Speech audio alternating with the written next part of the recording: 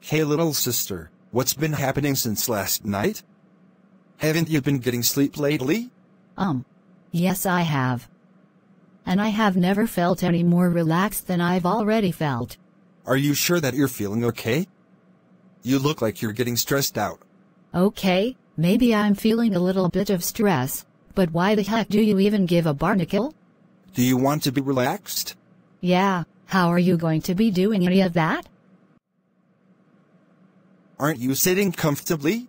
Yes, now what's going to happen next? Close your eyes. You're going deeper and deeper, listening to the sound of my voice. How long is this gosh darn game?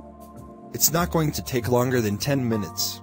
Then, I can't wait to wake up with less of the anger problems like Serena has every time she sees any of us do the most craziest things during adventures.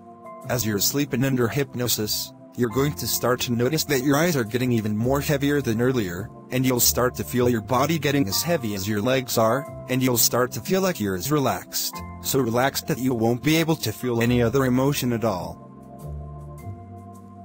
Um. Maybe I should try saying a less creepy thing to wake my sister up. Imagine if I was your school friend, what would you do around me?